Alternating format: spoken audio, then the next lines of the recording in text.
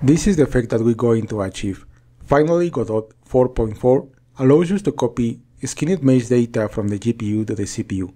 Maybe in the next version, we are going to have the same data for particles.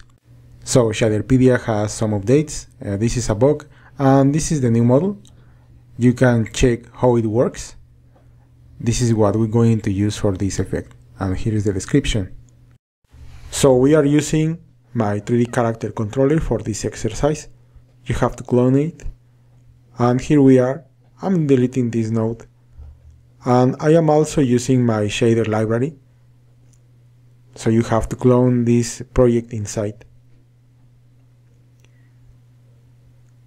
Here it is. I'm going to change the icon color. Yeah. Now I'm going to create an empty mesh instance. This is going to be a holder for the clones of the skinned mesh. I'm going to rename it to clone container and I am creating a GDScript file. I'm going to declare a class name and also a couple of properties that are going to be useful. Lifetime and remaining time. And I'm going to decrease the remaining time value in the process function.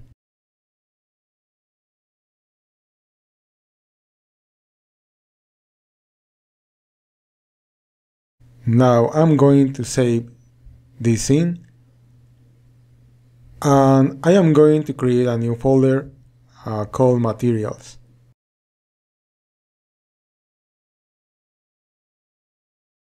And inside I'm going to create a new resource, shader material. And I'm going to give it a name, Fresnel material.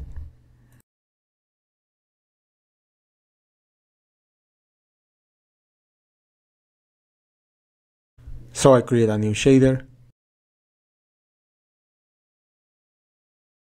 called clone Fresnel GD shader. So yeah, I'm going to declare a uniform value opacity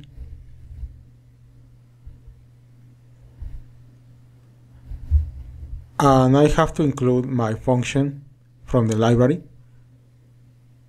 the Fresnel function. I'm going to call it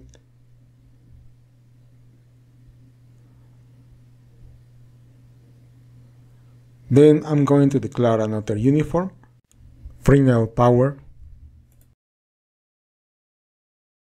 and just pass the values. And another uniform for the color gradient. And I am going to set this up I'm going to select a gradient, 1D, uh, some colors. It can be anything. These are just the colors I like.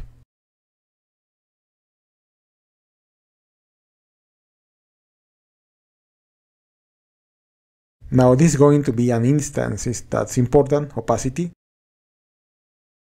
and just uh, a color variable equals to the color gradient. But in the position, x of the opacity and 0, that's important too. That is going to be a value from 0 to 1. Now we have to declare the emission uniform.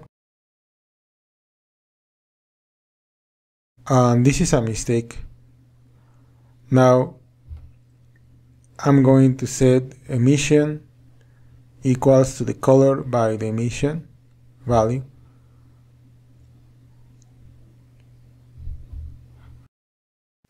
Now I'm going to set the instance shader parameter opacity and I am using the remaining time divided by the lifetime so I get a normalized value between 0 and 1.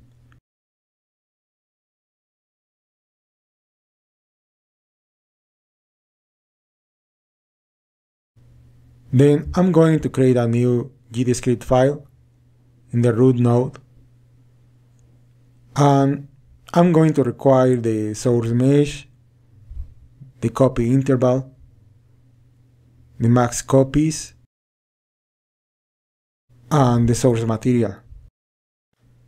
Also, I declare this array that works as a queue and a timer.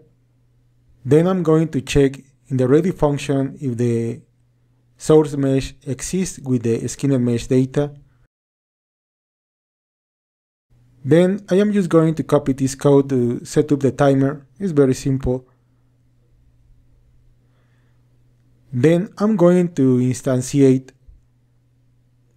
the container that I made before. And then I'm, I am going to copy the data from the GPU using this function.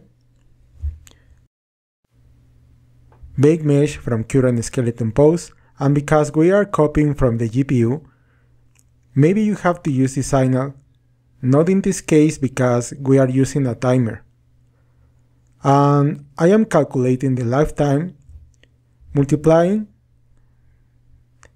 the copy interval by the max copies. Then I add the child and add it to the queue. And I set up the queue.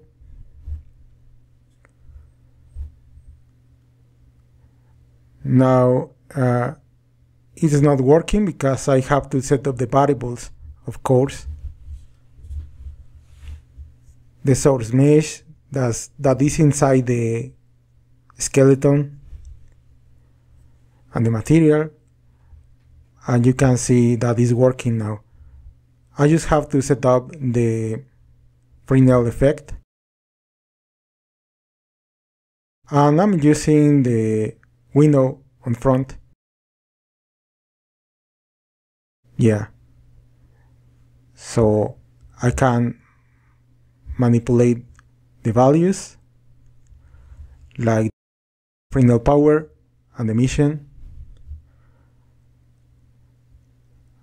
And you can see that now it's working, but it lacks the opacity change. So I'm going to multiply by the opacity in the alpha value. And you can see that now is working as expected.